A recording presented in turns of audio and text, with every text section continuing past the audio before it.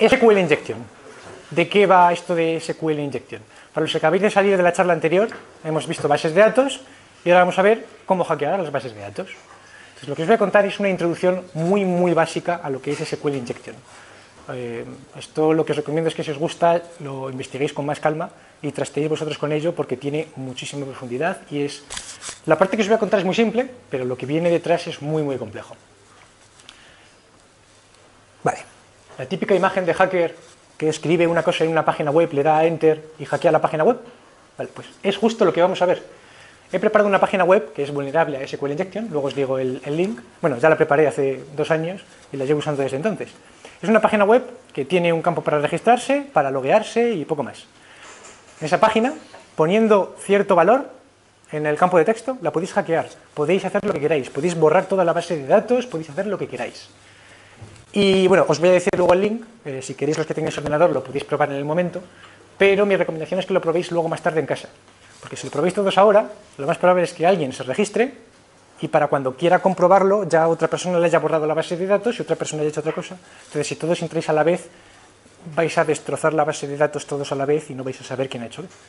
Pero bueno, yo os dejo el link y ahí está online para que hagáis lo que queráis. Entonces, primero de todo, el disclaimer. Lo que voy a explicar no es legal, excepto si tenéis permiso de la persona a la que estáis atacando. Entonces, yo os doy permiso a que en la página concreta que os voy a decir, que es mía, que la hosteo yo, sí la podéis atacar. Pero hagáis todo lo que veáis en este taller, si lo hacéis con otras páginas web, responsabilidad vuestra, no os lo recomiendo. Entonces, ¿qué es SQL Injection? Vale, la idea es la siguiente. Eh, consiste en inyectar SQL, literalmente, por eso se llama así. SQL consiste en hacer una instrucción de código que haga algo en una base de datos, que haga un select para coger información, un insert para insertar información o un update para modificar la información. Se tiene un trozo de código SQL que es básicamente un string, un texto, un texto con el que tiene select, tal, from, table, vale. La idea es inyectar ahí más información, inyectar más string dentro del propio string. Entonces, eh, aprovecho esta diapositiva a hablaros de otros tipos de ataques y este de alguna forma es similar. Uno de los tipos de ataques más comunes, de los típicos exploits, es, son los buffer overflow. Consisten en coger un buffer de memoria que tiene una longitud concreta y empezar a llenarlo de información, pero llenarlo con más información de la que se espera. De forma que después del campo de la variable, después de que se termine la memoria para la variable, va a haber más campo de memoria con el texto que vosotros queréis o con la información que vosotros queréis. Y de esa forma podéis engañar a la aplicación que está ejecutando ese código y podéis empezar a hacer cosas raras. La mayoría de, de vulnerabilidades que existen son o SQL Injection o Buffer Overflows. Y de alguna forma SQL Injection no es un Buffer Overflow, pero tiene la misma idea. Todas las vulnerabilidades siguen el mismo patrón. Hay un programa que se está ejecutando, que recibe input de algún lado, de un archivo de texto, de un usuario, un juego y que recibe el input con teclado y ratón, lo que sea. Y consiste en darle a la aplicación un input que no se espere, para hacer que la aplicación haga algo que no deba hacer, algo para lo que no está programado. Esa es la idea. Entonces, esta es la instrucción mágica de SQL Injection que casi todo el mundo que controla un poquito conoce. Tristemente, esto hace unos años se ponía en cualquier página web y ya está. Página web hackeada. No tenía más. Entonces, os explico un poquito cómo funciona esto y por qué funciona. Esto ya no suele funcionar, aunque si buscáis, todavía hay páginas que son vulnerables a esto. Pensad en una instrucción SQL. Una instrucción que es un string, que empieza y termina. Y desde que empieza hasta que termina hay unas comillas. Vale. Ahora, dentro del propio string tenéis, por ejemplo, un select, en que seleccionáis de una tabla, de, unas columnas, de una tabla, donde se cumplen ciertas condiciones, el campo where. Y esas condiciones son donde el nombre de usuario es igual a eh, comilla pp comilla. Pero pp es un... Eso, no, no podéis hardcodear eso en el código. Si el usuario en vuestra aplicación web se tiene que loguear, en el campo de texto de login pondrá su nombre de usuario, que eso acabará en una variable.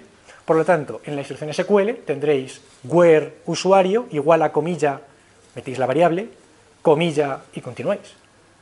Es así como se hace una instrucción SQL para hacer una página web eh, que usa bases de datos.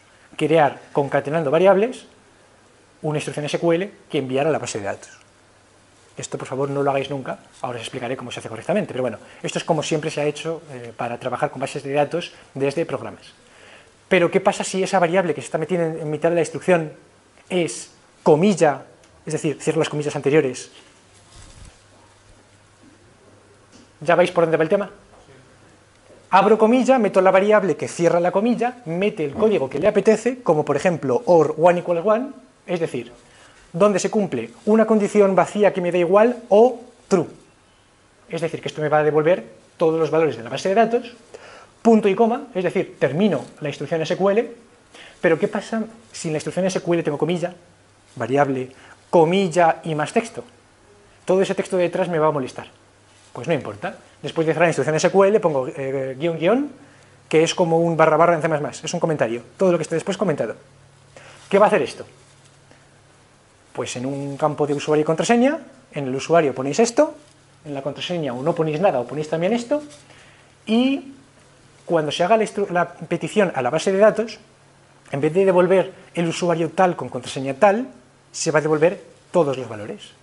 Y el primero que se encuentre, te loguea. Y normalmente el primero suele ser el administrador.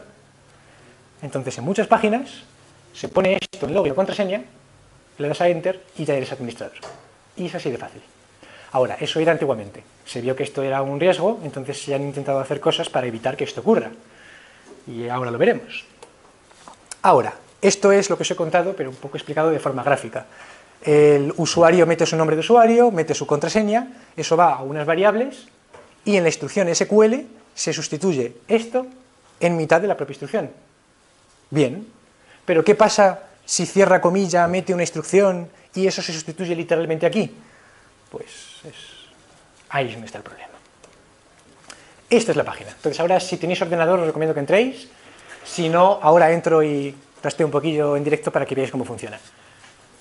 vulnerable.dpgsv.com Esta página es vulnerable a unas cuantas cosas, a SQL Injection, eh, Cross-Site Scripting, eh, no sé, bueno, cosas varias. Entonces, si queréis trastear con ella, adelante, todo lo que queráis.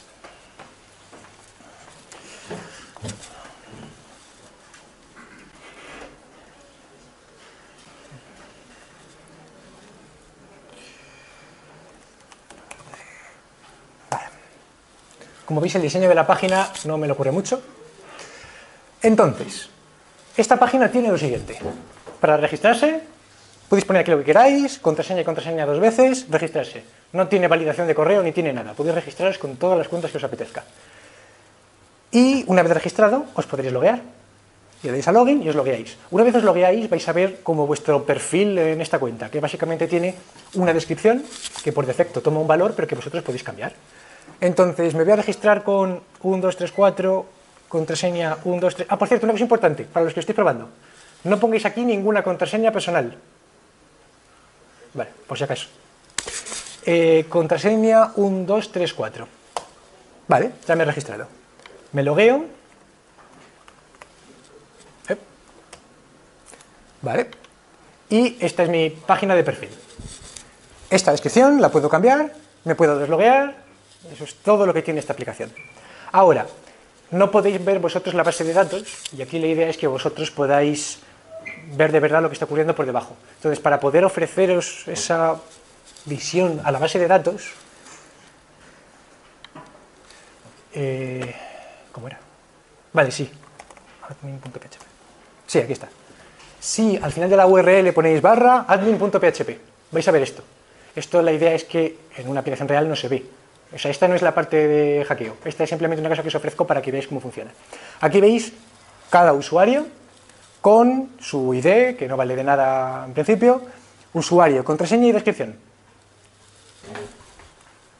Y ahí, bueno, ahora mismo 5. Actualizo la página, a ver si se ha registrado alguien. Sí, se han registrado otras dos personas. Vale, esto lo puede ver todo el mundo, por eso digo, no pongáis ninguna contraseña mm, privada. Entonces, duplicar, volver. Me deslogueo y me voy a este campo. vamos a hacer algo raro. Vamos a cerrar, anda, ya me parece ahí. Vale, en este caso no va a funcionar exactamente igual, ya os lo dejo a vosotros que intentéis loguearos con una cuenta, eh, no es tan fácil como os he explicado antes, pero podéis ver una cosa, si yo aquí me invento algo y le doy a login, me dice el usuario no existe. Si escribo esto y me invento algo, no me va a dejar entrar, pero porque la contraseña es incorrecta. Es decir, me ha detectado que hay un usuario que existe, que será el primero que exista, el administrador o lo que sea, ahora tengo que adivinar la contraseña, ya tengo parte del trabajo hecho. Os dejo a vosotros que, que os intentéis loguear con otros usuarios, sin mirar la página de admin.php. Ahora, lo interesante es, vamos a hacer otras cosas, como por ejemplo, tenemos aquí muchos usuarios, pues cierro comilla, delete, from, users, punto y coma, guion guion. Voy a borrar todo el contenido de la tabla, contraseña, lo que sea, login. Vale, me dice que el usuario no existe. Mm, algo no ha funcionado. Voy a a intentar. Eh, Ah, me falta el punto y coma. Delete from users guion.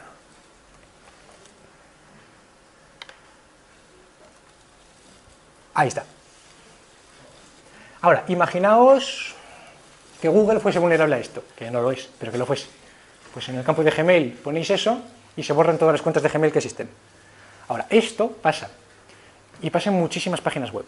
Ahora vamos a ver una forma de hackear páginas web para obtener las bases de datos, no para destrozarlas, pero una vez se hackea la base de datos, destrozarla es relativamente fácil. Hay formas de protegerse, pero eso ya para otro momento. Entonces, eh, bueno, os dejo un par de minutos más para que sigáis registrando, creando cuentas, creando cuentas, borrándolas y como idea para cosas que probéis, en el campo de login meted cosas más complejas, meted un insert para registrar nuevos usuarios, incluso si queréis meted varios inserts para registrar de una sola vez 200 usuarios, meted delete pero borrando solo usuarios concretos, meted updates para modificar las contraseñas de usuarios que ya existan, probad cosas de ese estilo. Imaginad cambiar la contraseña a una cuenta de administrador o no sé, cualquier cosa. Ahora, hay formas de protegerse contra esto. Ahora mismo hay pocas páginas, aunque todavía hay algunas, tristemente, pero hay pocas páginas que sean vulnerables a esto. Hay algunas técnicas para intentar saltárselo, como por ejemplo... Eh, este. Como por ejemplo, si, si hay una comilla en la variable de usuario, pues sustituyo comilla por barra comilla. Esa barra escapa la comilla, es decir, dice que esa comilla no es algo con información útil que cierra la otra comilla, sino que es una comilla literal.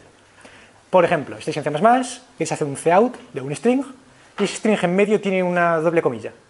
Pero no podéis poner una doble comilla en mitad del string porque os cierra el string. Pues en vez de poner comillas, ponéis barra comillas, y os escapa el string. Os escapa las dobles comillas. Pues esto es lo mismo, sustituir los caracteres especiales como comilla, punto y coma y similares por barra y el carácter especial para quitarle ese significado especial al carácter. Pero se puede saltar. Se pueden encontrar otros caracteres especiales o se puede hacer, eh, se puede forzar a la instrucción a que se ejecute una segunda vez o encadenar varias instrucciones. Se pueden hacer instrucciones SQL, que instrucciones, instrucciones SQL, y en la segunda ejecución ya ha perdido un nivel de escape. Es decir, escapáis una vez una comilla y le ponéis barra comilla. ¿Vale? SQL lo ejecuta y la barra comilla se transforma en una comilla normal dentro del string. Bien, que es ejecutado por otra instrucción SQL, pero ya no está escapado. Cosas de ese. Entonces, para intentar evitar eso, escapar caracteres no es la solución. Hay otra forma que es transformar caracteres por otros caracteres o conjuntos de caracteres que significan lo mismo, los eh, típicos de HTML, sustituir un, una A con acento por ampersand a cute punto y coma, o un, un espacio por ampersand nbsp, o algo similar. Es decir, sustituir caracteres especiales por otros que significan lo mismo, que se van a guardar en la base de datos como lo mismo, pero que no tienen el significado. pero eso no siempre funciona. Entonces, hay formas de saltárselo, pero son más complejas. Hay que trastear un poquito más, hay que trastear mucho. Ahora, una cosa que es muy común en una página web para ver si es vulnerable o no, vamos a probar ahora con una cualquiera. No para hackearla, sino para ver si es hackeable. Eh, vale. Ahora, un truquito. ¿Cómo encontrar páginas no vulnerables, sino que quizá lo sean? Eh, se usan docs. Es una forma de buscar en Google, usando la búsqueda avanzada de Google, para buscar patrones o similar. Ahora, quiero buscar una cosa concreta en páginas web, pero no en el contenido de la página web, sino en la URL de la página. Entonces pongo in URL, ahí me sale la búsqueda. In URL. Lo que ponga a continuación no me lo voy a buscar en la página, sino en la URL. Y lo que quiero buscar, ya lo tengo aquí escrito, es eso. Quiero buscar en la URL .php, cerrar interrogación y de igual. ¿Por qué? Porque, vamos a buscarlo, eh, este mismo. Porque esta página, que tiene aquí el número 25, .php y de número 25, ¿qué hace con ese 25? Pues le pregunta a la base de datos, dame la página 25. Coge la página 25 y la muestra aquí. Si cambio ese 25 por un 24, pues no tengo ni idea qué va a mostrar, alguna otra página. A ver, esta es una página de museos festivales. Esta información la está sacando de una base de datos. Es decir, ese 25 de alguna forma acaba en una instrucción SQL que va a una base de datos. Entonces, por eso es muy útil buscar esto en Google, porque muchas páginas web suelen seguir ese patrón. Ahora, no todos tienen un ID, algunos tienen un page igual, otros tienen un... bueno, cosas diferentes, eso es ir probando, pero muchos suelen tener el ID. Ahora, ya tenemos aquí una página. Vamos a ver si es vulnerable o no. La forma más fácil, después de ese numerito 24, poner una comilla simple y darle a Enter. Ahora, esta página es vulnerable. No la hemos hackeado, pero hemos comprobado que lo es. Porque ha detectado un error de comilla, de que hay una comilla que cierra otra comilla. Y toda la basura que hay detrás de esa comilla que se ha cerrado ya deja de ser lo que era, ahora es un trozo de basura que SQL no es capaz de procesar y da un error. Vale. Eh, ahora, suponed, vale, una, otra cosa que es muy común, en una página web poner en un campo de texto un código como una comilla o una comilla or one igual, a one o algo similar, darle enter y que en mitad de la página web salga contenido de la propia base de datos. Es común porque el código no se, espera que se devuelva un valor, el valor que pide. Si le metes un or 1 igual a 1, va a devolver muchos datos. ¿Y qué hace con el resto?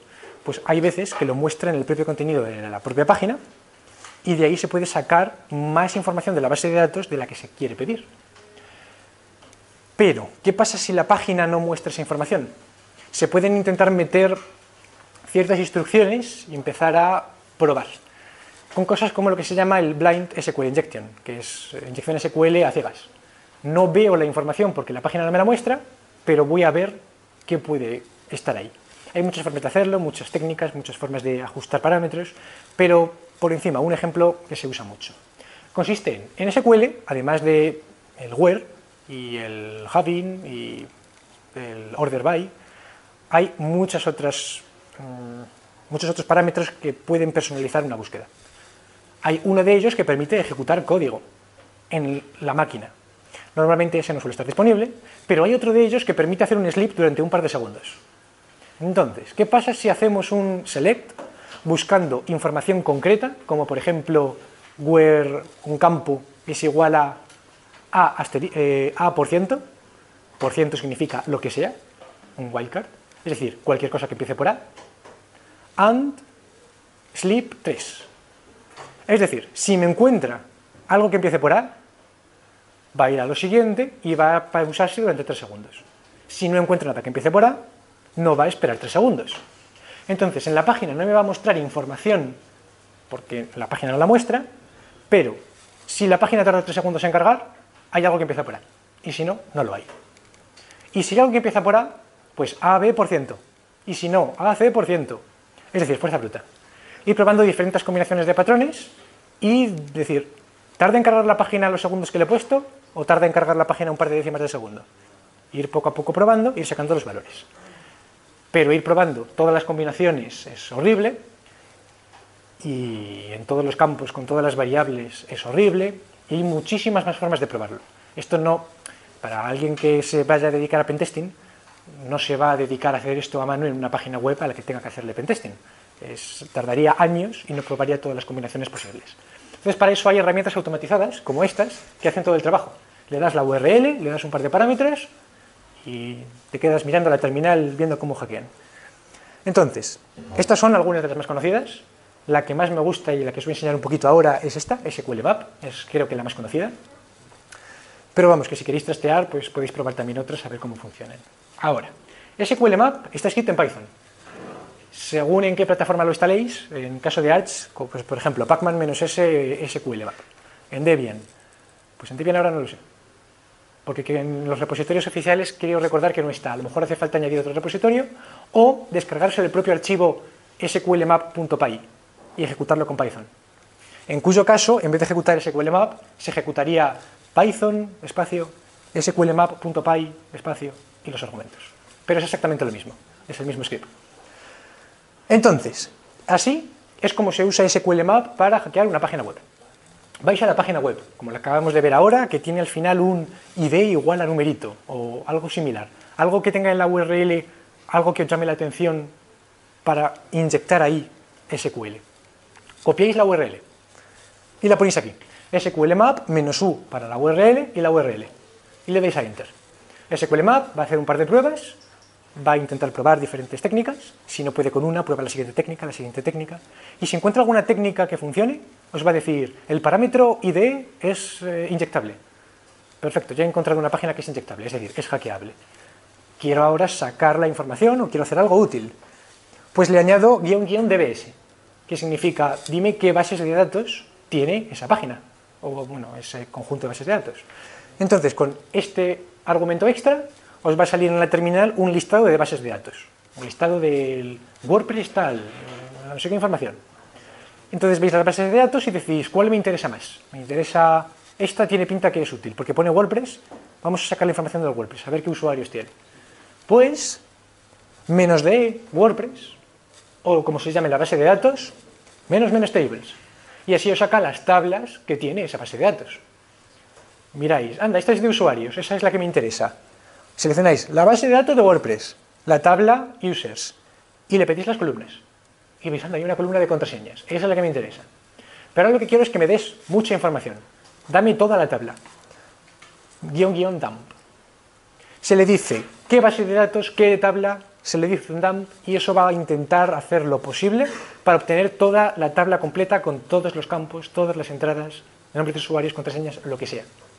Ahora, por defecto, quiero recordar que SQL Map, según va obteniendo la información, la va exportando a un archivo .sqlite o algo similar. Quiero recordar. Si lo hacéis en, en, Windows no sé dónde lo guarda, pero debería salir en la propia terminal. En Linux lo guarda en el home del usuario que lo ejecutáis, en la carpeta .sqlmap eh, barra output, barra la URL, barra dump, quiero recordar. Vais a esa, a esa carpeta y vais a ver un archivo .sql o SQLite. Lo abrís con algún editor de SQL y deberíais ver ahí la propia base de datos. Si no queréis complicaros la vida de esa forma, le podéis pasar algún, otros parámetros extra que personalizan el output. Por ejemplo, exportar a CSV. CSV es un formato de texto plano que podéis abrir luego esa base de datos con cualquier editor de, texto y ver los datos en la propia terminal. Esto no me lo pidáis porque no os lo voy a pasar. Ya se lo he pasado a gente y no quiero pasároslo. Pero todo esto que está aquí es un solo comando. Voy a poner un poco al lado. O sea, podéis mirarlo si queréis memorizarlo, pero eso luego se va a recortar del vídeo. Es un único comando que se le da a Enter y se pone a hackear una página web tras otra. Si lo dejas ejecutándose un día, de repente te encuentras, anda, ha hackeado 20 páginas web, aquí tengo bases de datos de 20 páginas web. No recomiendo, además de por el tema legal, porque os llena el disco duro de bases de datos y de nombres de usuarios y contraseñas y a lo mejor os quedáis sin espacio. Ahora, ¿qué hace este comando? SQLMap, en vez de pasar, pasar el parámetro menos "-u", se le pasa el "-g". Es decir, no le estoy dando una URL, le estoy dando un dot de Google. Esto lo va a buscar en Google. Todos los resultados de esa búsqueda de Google va a ir uno a uno viendo si lo puede hackear y si puede hackeándolo. Cuando termina con uno pasa al siguiente. Ahora, que me diga qué bases de datos tiene. No me interesa ni siquiera yo saber ni qué bases de datos tiene ni qué tablas. Lo que quiero es guardarme la información. Así que le digo, dame todo, dump all. Pero no quiero que me dé las bases de datos del sistema, como, eh, como es un SQL Info, o bueno, no me acuerdo ahora cuáles son. Son unas bases de datos que por defecto están en todos los sistemas de bases de datos SQL que tienen información sobre las bases de datos. Entonces, a mí no me interesa, me interesa la base de datos WordPress, no me interesa la base de datos que me dice tienes una base de datos WordPress. Pues eso me excluye esas bases de datos. Y vale, esa es la parte interesante. Entonces, SQL Map se va a poner a hackear una página tras otra y va a ir a la primera. Y va a ver que sí, es hackeable, pero he detectado que usa un no sé qué protección. ¿Quieres aún así probar? Os lo pregunta, vosotros le dais sí, enter, y prueba. Y luego os dice, he detectado que no es inyectable tal. ¿Quieres probar este otro parámetro? Venga, sí, enter. Y así tenéis que ir respondiendo a las preguntas que SQL Map os va respondiendo. Es decir, que hackear es tan fácil como responder sí o no a lo que el programa os pregunta. Que de hecho, el programa por defecto ya tiene una respuesta. Le podéis dar a Enter sin responder y por defecto el programa elige algo. ¿Qué es lo que hace mm, desde aquí hasta aquí? Tiene trozos de preguntas y respuestas predeterminadas. Cualquier pregunta que tenga follow en la pregunta, la va a responder con no. Cualquier pregunta que tenga want to skip test payloads, va a responder que sí. Cualquier pregunta que tenga tal, la va a responder con tal.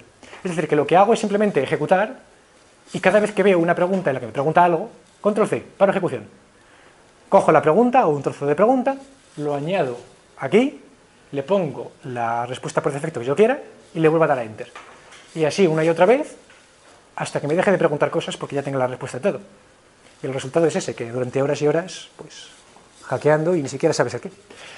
No lo recomiendo por varias cosas, además de porque es ilegal y porque llena espacio, es porque ni siquiera sabéis qué es lo que está hackeando. Eso es un peligro. Si vosotros sabéis que estáis hackeando a una página concreta que llevan sin actualizar desde hace siglos, bueno, pues creo que nadie me va a denunciar por ello. Bueno, eso ya es riesgo vuestro. Pero ¿qué pasa si el DORC, este DORC de Google, os encuentra una página de gobierno de a saber qué? Pues eso ya puede ser un riesgo. Entonces, hay que tener cuidado con eso, lo aviso. Ahora. Mm,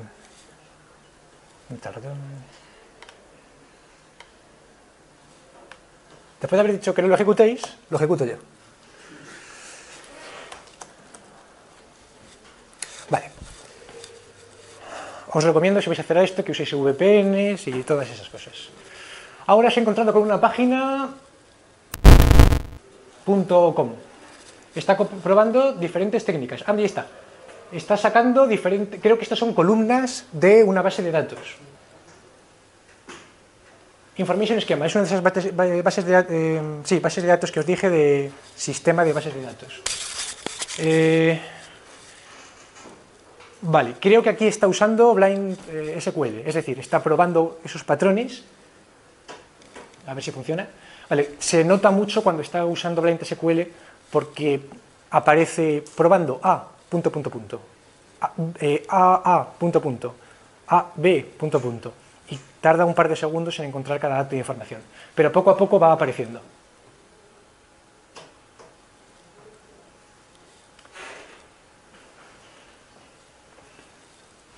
Usar Blind SQL Injection es bastante más lento que usar directamente SQL Injection pero hay casos en los que es la única opción.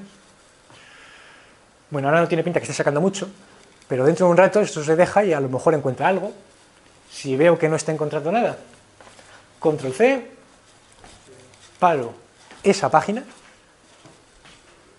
Por cierto, el último argumento que le di al, a este comando era guion guion threads igual a 10. Es decir, que estoy atacando con 10 threads a la vez para que vaya un poquito más rápido. Estoy probando con diferentes valores y en concreto para mi ordenador vi que 10 era el número que iba más rápido, pero claro, usar 10 threads significa que tenéis 10 procesos atacando a la vez. Es decir, es mucho más obvio para el sysadmin o el administrador de la página web que está recibiendo un ataque. Eso ya también hay que verlo. Bueno, a ver si funciona. Vale, creo que lo que está haciendo ahora es parar los threads que tiene ejecutándose anteriormente. Cuando termine, si termina, debería pasar al siguiente resultado de la búsqueda de Google. Siempre, esta charla no es la primera vez que la doy, la di el año pasado y el año anterior. Siempre que he dado esta charla, me ha salido aquí una página de historia de la Biblia, biblehistory. no sé qué, con datos de Egipto y cosas similares. Siempre sale. A ver si sale esta vez para seguir con...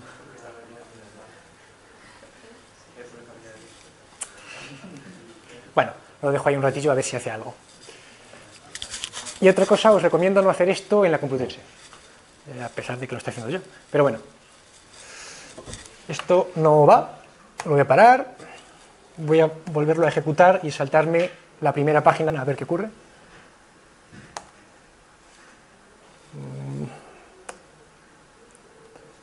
Vale, a ver qué está haciendo ahora.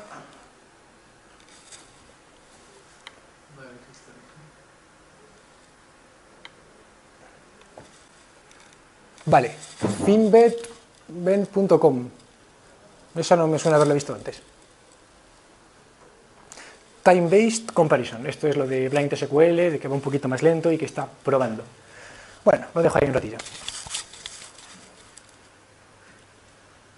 Y aquí va dándos información.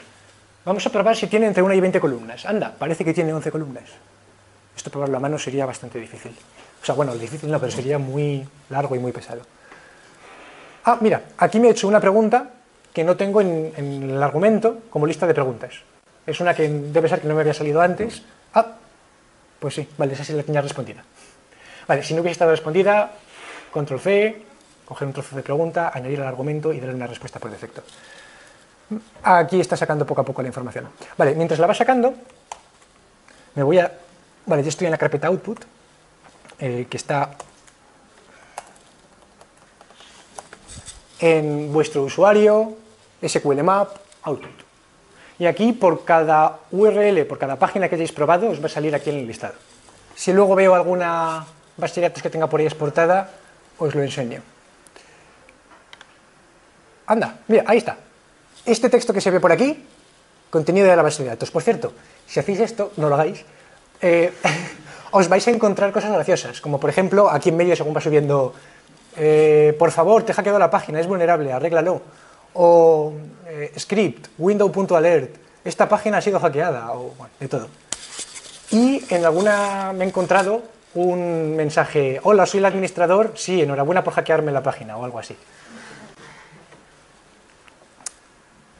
Bueno, lo voy a dejar ahí, ejecutándose. Vale, ahora, ya para terminar, esto la idea es que ahora testéis un poquillo con la página y me preguntéis dudas y todo esto. Pero para terminar, ahora os he hablado de SQL Injection. Es bastante grave porque muchísimas, muchísimas páginas web son vulnerables a esto. Como se podéis ver que buscando un doc en Google ya os dan muchos resultados y la mayoría pues, son vulnerables. Ahora, SQL no es la, eh, la, única base de datos vulnerable a esto. Aquí pongo varios ejemplos, eh, MongoDB, Redis, pero técnicamente todas son vulnerables. Porque el problema no es la base de datos, el problema es el programador. Si hacéis un programa en el que concatenéis en un string SQL una variable que el usuario ha metido, le estáis dando al usuario control sobre la ejecución de vuestro programa. Y ahí es ahí donde está el fallo. Pero de la misma forma se puede hacer lo mismo en MongoDB. Si en MongoDB tenéis un string y se lo paséis a la base de datos y en mitad del string ponéis una variable, exactamente lo mismo. En Redis, lo mismo, en cualquier tipo de base de datos. Y ya no solo con inyección SQL o inyección de cualquier tipo. Si eh, como consejo general de programación, si esperáis input del usuario, comprobadlo. Comprobad qué es y aseguraros que tiene la forma que vosotros queréis que tenga. Y que si no tiene esa forma, le mostréis al usuario un error, eh, guiones o comillas no permitidos, o lo que sea. Pero no permitáis que se os pase algún input de usuario sin filtrar. os voy a poner ejemplos ahora, o sea, no los, os voy a enseñar porque no lo he hecho yo, pero os voy a decir ahora algún ejemplo en el que se puede hacer SQL Injection de formas rarísimas. Se puede hacer SQL Injection en los headers de una página web. Es decir, hacer un header, o sea, hacer una página web que envía un head del estilo user agent, dos puntos, inyección SQL, y meter ahí un comilla y lo que sea. Y después de haber hecho esa página web, busquéis por internet página web de análisis de página web. de estas páginas que vosotros metéis una URL y os analiza datos de vuestra página web para ver si es rápida, para ver si es segura. Pues ponéis la URL de vuestra web, le deis a Enter, esa página va a hacer una petición a vuestra página, va a ver el head, y si se lo intenta guardar en la base de datos, no se va a esperar que los headers de la página tengan edición SQL, por ejemplo. Ahora, las páginas que hacen pings a otras páginas, o que reciben una IP. Las páginas en las que... las páginas que os dicen vuestra IP, que le decís, ¿cuál es mi IP? Y os dicen vuestra IP, ¿cómo saben vuestra IP? La saben porque vosotros, cuando enviáis un paquetito de información de dame la página, estáis diciendo cuál es vuestra IP. La página que lo recibe tiene varios campos de información para saber vuestra IP. Tiene vuestra IP real, que es de dónde viene ese paquete de información, la IP que vosotros enviáis en los headers del archivo, la IP que ponen los proxies para que se sepa que se está usando un proxy en el caso de no ser un proxy transparente, esos headers los podéis modificar. Podéis hacer que tengáis la IP que queráis y puede no tener forma de IP. Podéis meter como vuestra IP inyección SQL. Entonces hay muchísimos sitios y muchísimas webs que han sido hackeadas por los headers de un archivo, por la propia URL que tiene inyección SQL en la propia URL del archivo, de todo. Entonces, como consejo general, todo input que pueda ser controlado por alguien que no sea vosotros, comprobado. Y... Eh, Bueno, estos son los consejos de cómo protegerlo. No os voy a explicar ahora cómo proteger de esto porque es un asunto bastante largo. Eh, daré un taller justo de esto, creo que en dos semanas o tres, dos semanas, de justo la parte defensiva y ya lo explicaré en más detalle. Escapar caracteres, filtros, si tiene una comilla no me gusta y prepare statements. Esta es la forma correcta de hacer, eh, de trabajar con bases de datos en un lenguaje de programación evitando los riesgos que se pueden colar con estas dos formas. Y aún así con prepare statements hay riesgos, hay formas de saltárselos. Pero es actualmente la mejor forma de trabajar en una base de datos desde un lenguaje de programación. ¿En qué consiste un prepare statement? Consiste en crear una instrucción, hablemos de SQL, una instrucción SQL, y en el campo en el que pondríais la variable, no ponéis la variable, ponéis, por ejemplo, una interrogación. Y se queda ahí la interrogación. El string es una interrogación. Entonces estáis seleccionando eh, nombre de usuario y contraseña de la tabla users, where username es igual a interrogación. Ya está. Y le decís a la base de datos, toma, aquí tienes una petición. Claro, la base de datos una interrogación no lo va a interpretar bien. Lo que queréis es que os busque algo concreto. Pero le decís a la base de datos, toma, aquí tienes el string de lo que tienes que ejecutar en SQL, compílalo y después de haberlo compilado, donde está la interrogación, ponle este string y ya le dais la variable. De forma que después de haber hecho algo con esa instrucción, con ese string, cambia la variable en su lugar. Esa es la diferencia principal de los prepare statements. Primero se prepara el statement y luego, cuando este está preparado, se coge la variable y se pone. Evitando la concatenación de strings, pues se controla más el input del usuario. Y ahora, mientras las dudas, eh, voy a dejar... Ahí sigue. María Samara, eh, soporte online, bueno, ahí está. Y bueno, eso ha sido todo por la charla. Dejo un ratito para preguntas y si alguien quiere pues, acercarse y preguntarme algo que no queráis que el resto sepa o lo que sea, y eso ha sido todo.